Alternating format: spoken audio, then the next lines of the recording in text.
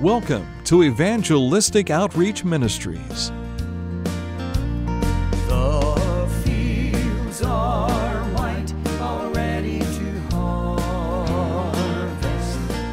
For over half a century, the Evangelistic Outreach team has traveled across the street, about the nation, and around the world with the gospel message.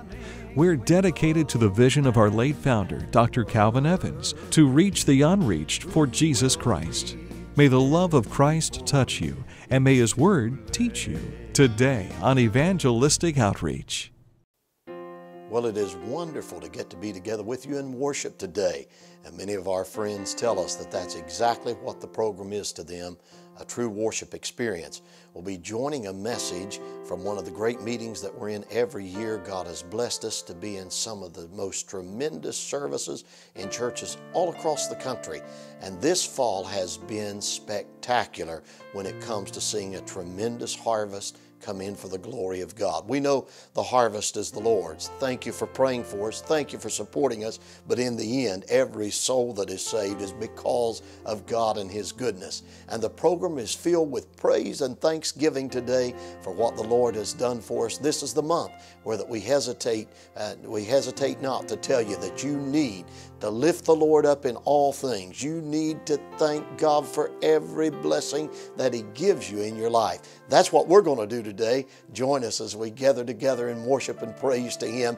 And also, I think you're going to be thrilled with the gift offer we'll talk about a little later on the program. So look up something, get that information. And two great meetings this week, Brian and I will be in. We want you to come and worship the Lord with us in those. We'll tell you about those later. Right now, let's look to the Lord in prayer. Father, I thank you so much for the power and privilege of prayer. Oh, it is good to know that we can take time like this where we can literally come into the very throne room of God to obtain mercy and grace. The book of Ephesians says we're able to sit in heavenly places because the prayer, Lord, that is answered in our life here on earth must first start in heaven. In your name, Jesus, I ask it, believing you to do great things. Those that are in pain in their body, those that are lonely and discouraged, I ask today that you'll use this broadcast to touch their heart. Encourage them, we pray. And oh Lord, we rejoice in all that you are doing. Thank you for the souls that are being saved, for the outreach that is touching lives all around the world. And Lord, I praise you for what you are doing. I ask your blessings now on everything that's done in this broadcast. May it lift you up in Jesus' name and amen. Well, let's start things off with this song. Amazing grace, how sweet the sound that saved a wretch like me. I once was lost, but now I'm found. Was blind, but now I see. 'Twas grace that told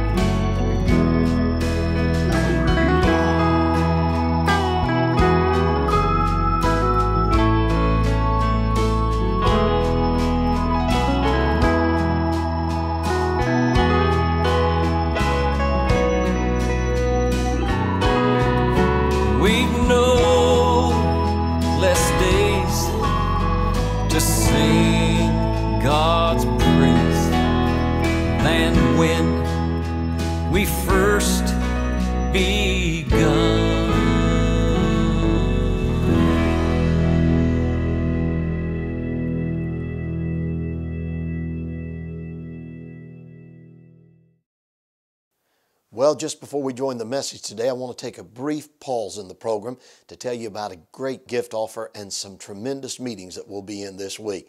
We love it when you're able to come and worship together with us. And first, I want to thank you for supporting this ministry. We cannot carry on without you, and your gifts are such a blessing to help us as we reach out to others. Now, the ministry operates through what is called a general fund. The general fund is what pays for the radio and television time. The general fund is what underwrites the expenses of being able to share the needs of many of the projects with others. And because of your support of the general fund, we're able to conduct missionary projects and home missionary projects with never charging administrative fees or any kind of handling cost. So it's important that during these few weeks, as we near the end of the year, that you pray and ask God to, to touch your heart and lead you in a direction that you can help us. We need your help. Thank you for standing with us. A great portion of this ministry carries on because these two months of broadcasting, the last two months of the year, the funds that come in for many of our friends, it's the only time we hear from you all year long. Please pray about standing together with us. And when you contact us, let me remind you of this month's gift offer. It is a book, but an unusual book. I don't know that we have ever offered a book of this nature on the program. It is a book of poetry, poems that were written by a dear friend of ours, Eddie Roush, who lives in Maiden, uh, North Carolina. And Eddie was born in the coal fields of West Virginia. He's written a number of songs, and God has gifted him with pen. He's now 83 years of age and going strong for the glory of God. Many of these poems deal with the upcoming Christmas season and a lot of poems of events that's happened in his life. And I don't, again, I don't know that we've ever offered a book of poetry, but God touched our heart about making this available to you. It's free absolutely free of charge. Now, if you're not on our mailing list, I really encourage you to be sure to let us know that you'd like to be on the free mailing list because that way we can keep you posted of gift offers like this every month. If you want this, just contact us this week. And our mailing address is Calvin Evans, 299 Ohio Avenue, New Boston, Ohio, zip code 45662. You can also go to our website at calvinevans.org to order it. And finally, you can call us toll free, 800 767 8713 to place your order. Now, also, I ask that you pray about getting involved in the upcoming Food Basket Project.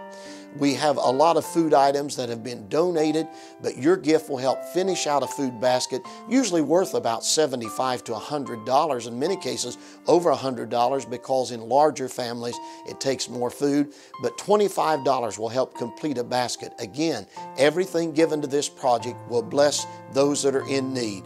We already have received more requests than we know that we have funds to fill. So I hope that you'll get involved in this project. We run it from Thanksgiving up through Christmas. We need your help, and the sooner that you respond, the sooner that we can get the items purchased and move forward. So I hope you'll send your special gift today. Now, the meetings I mentioned coming on the air Monday and Tuesday night, Brian and I will be with our good friend Pastor Chad Benner on Coles Boulevard in Portsmouth, Ohio.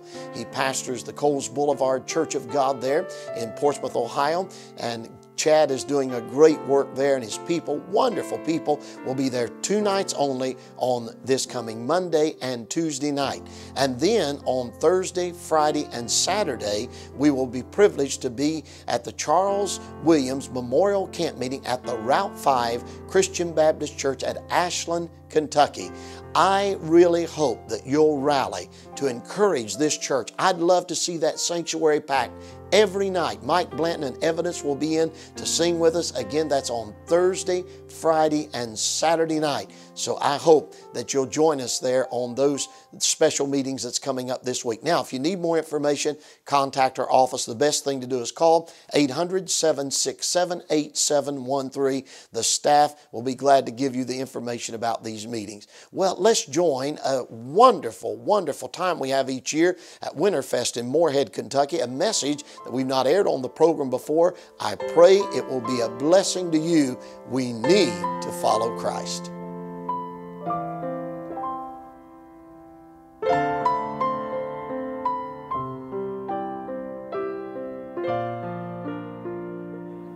In John chapter 21, we have the wonderful account of the third visitation of Jesus, the third time that he shows himself to his disciples after that he's risen from the dead. They have an encounter like none other. They've toiled all night, they've caught nothing. Jesus tells them to cast their net on the right side of the boat. Sometimes you got to go fishing in the right places.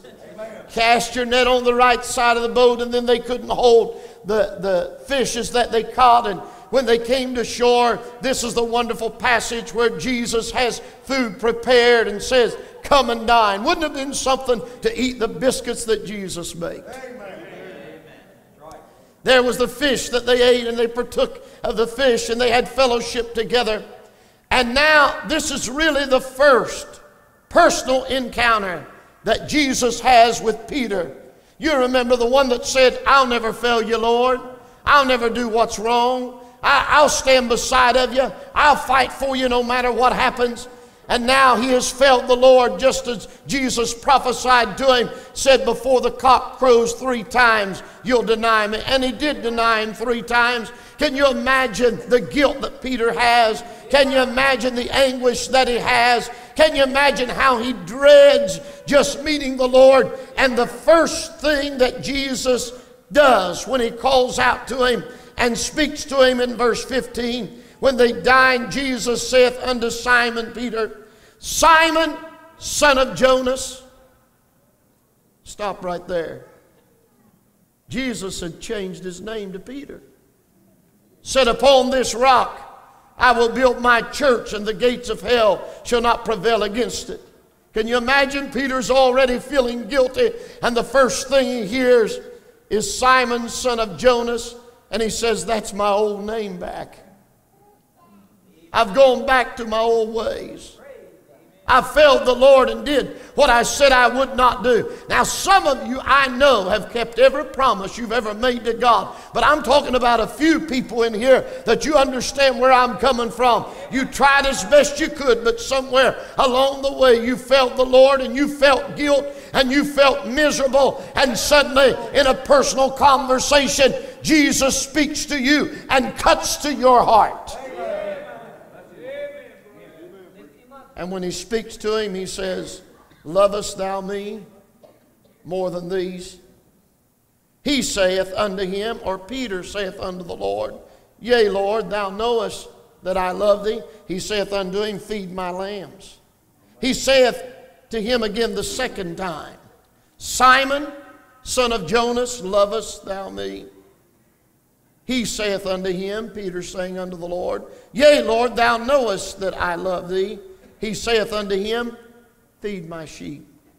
He saith unto him the third time, Simon, son of Jonas, lovest thou me? Peter was grieved because he said unto him the third time, Lovest thou me? He said unto him, Lord, thou knowest all things. Thou knowest that I love thee. Jesus saith unto him, Feed my sheep.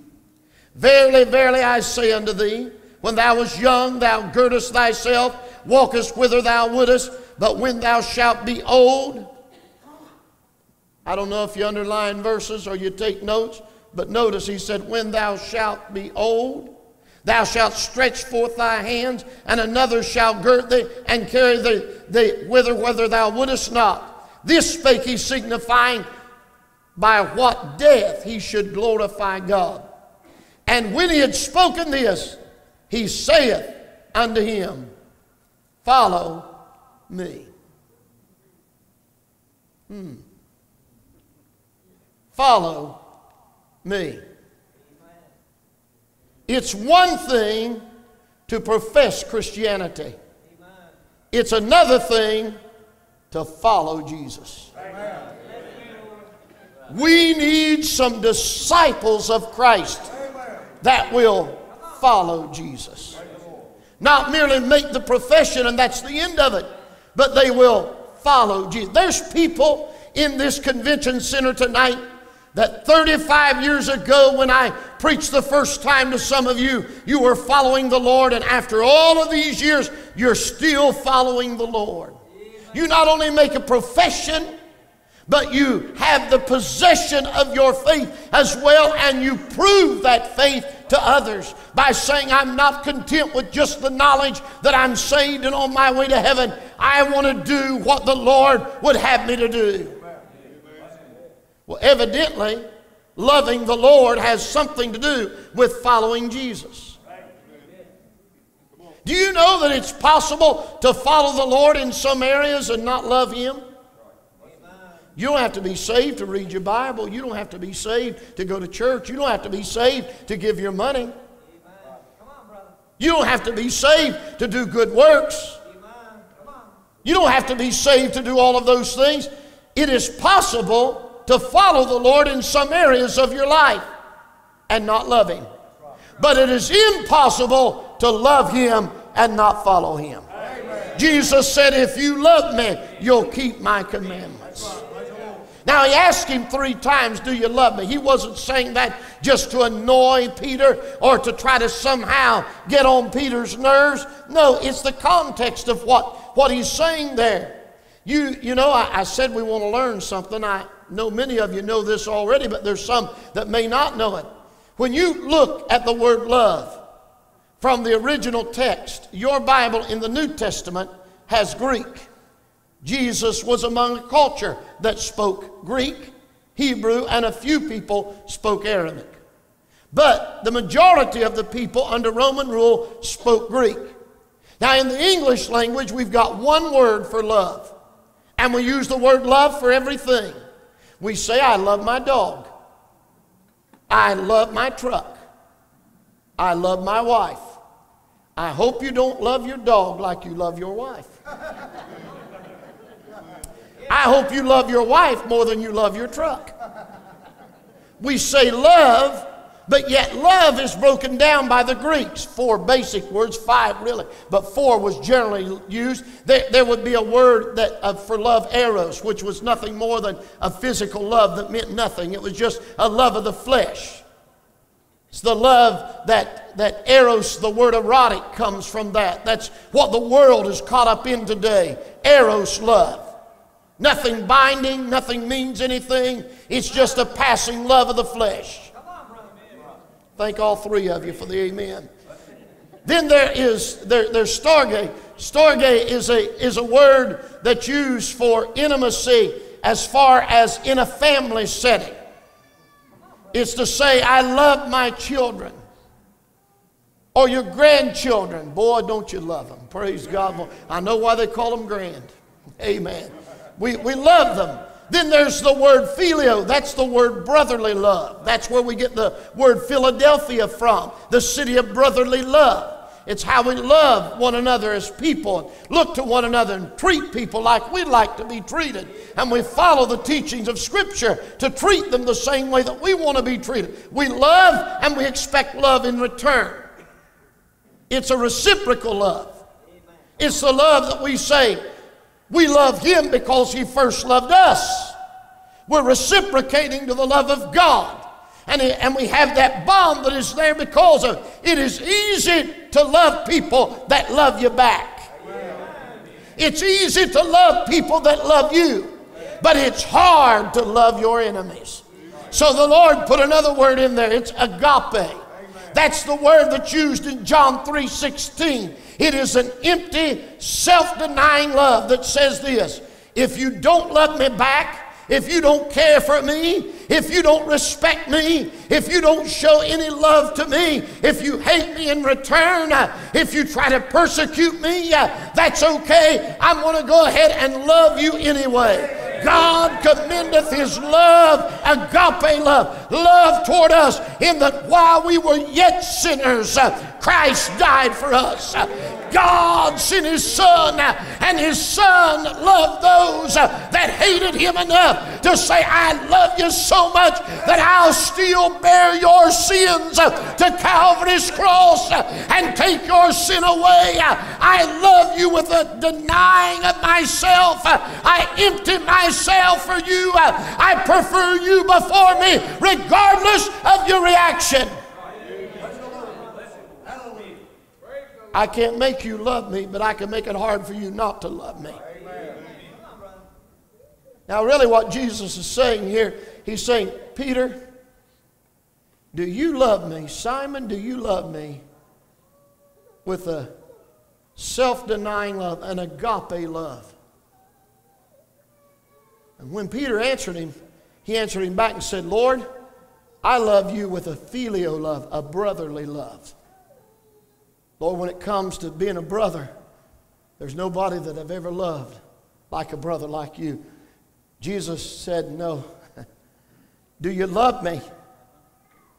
With a self denying love. See, he knows the road that Peter's going to travel. He knows what Peter's going to go through. He said, Do you love me with that kind of a love? That if it stripped you of everything, will you still love me? And he said, Lord, see, Peter was cautious with his words. Remember, he's failed the Lord now. And he said, with a brotherly love, filial love, I love you. The third time Jesus asked, he changed the word and he said, Well, then, Peter, when it comes to a filial love, a brotherly love, do you really love me that way? Peter changes his tone of voice and said, Lord, you know all things. You know I love you that way. Hmm. Why was Jesus probing into the love that Peter had for him? I'll give you three things real quick and I'm done. He said, Peter, if you're going to follow me, you have to love me. And if you're going to follow me, you've got to make your mind up to follow me in these three categories of your life. He said, First of all, Peter, follow me out of love because of your influence. When this chapter started, Peter goes fishing again. If you remember, Jesus had called them out of that occupation, told them to become fishers of men. And Peter says, after the resurrection, he almost has the tone of voice, It's over now. Boys, we put our time in and it's done. We might as well, we might as well just give up now. He said, I'm going back to fishing. I'm going back to my old occupation. The Lord is dead and gone now. So I'm going back to what I used to do. Now, the only problem is when we decide to somehow go back to living a life of not, not full service to the Lord, we're going to influence people. When he did that, you read the scripture, six others followed him. Six others followed him. Do you know something? You have an influence on people's lives, either for the good or for the bad. It's up to you how you use your influence. They requested prayer for one of the young ladies in our church. She has great faith. I have never met anyone with the faith that she has. She has now influenced people all across this country and even overseas because of her faith. Just because she chose to believe God when people said, You're not going to make it. I was in the room one day after a doctor had just on his way out had just told her, You've got less than one week to live. But she told him, You don't have the say. I appreciate your knowledge. I appreciate your care. but you cannot do anything for me. So, what harm will it do for me to believe in the one that can do anything because you can't help me? Let me tell you something. I appreciate all of the knowledge that people have. Some of you are not going to like what I'm going to say, and I hope you'll swallow it and think about it real good. You better be careful where you run to for the influence in your life. We run to the intellectuals of this world. They may have a lot of knowledge of science and a lot of knowledge of medicine and a lot of knowledge of things of this world. But do you know what? What business does somebody that walks in spiritual darkness have walking through a head that's full of light? Here you are touched by the light of God and relying on darkness to lead you every step of your way. I'm here to tell you the world doesn't understand us. They don't know where we get this from. They don't understand it and they'll never understand it. But I don't apologize for it, regardless of what this world thinks, regardless of what this world does. I have made my mind up to follow Jesus, regardless, regardless of the influence of this world. because of our influence on others. Every life here tonight will touch lives that your pastor, your preacher will never touch. Well, we hope the message today, Follow Me, has been a blessing to you and a challenge to you. We definitely need to follow the Lord Jesus Christ. It is, a, it is imperative in these days in which we live that we follow what Jesus taught us, that if whosoever will, he can deny himself take up his cross daily and follow him, then he said, He can be my disciple. There were thousands of people that followed Christ until he wanted them to be a disciple and live a committed life. And then uh, when he looked around after he said, You need to take up your cross, everyone had left, and he turned to his disciples and said, Will you also go away? He was telling them, Are, are you going to pay the price to be my disciple? And so we are asking you today, there is a price to be paid. But I can tell you it will be absolutely worth it. The retirement benefits are out of this world, knowing that we'll get to be in heaven forever and ever with our Lord and Savior and our loved ones that have went before us. And if you're not ready to meet the Lord today, I encourage you, ask Him into your heart. Say, Lord, I'm sorry for my sins. The Bible says He's faithful and He's just to forgive you. So please ask Him into your heart today. And if you have done that, please let us know. We'd love to rejoice with you. God bless you. Until next week at the same time over the same station, we will uh, come back with a, continuing the message on Follow Me, and we hope you have a wonderful day in the Lord. Thank you for joining us today on Evangelistic Outreach Ministries.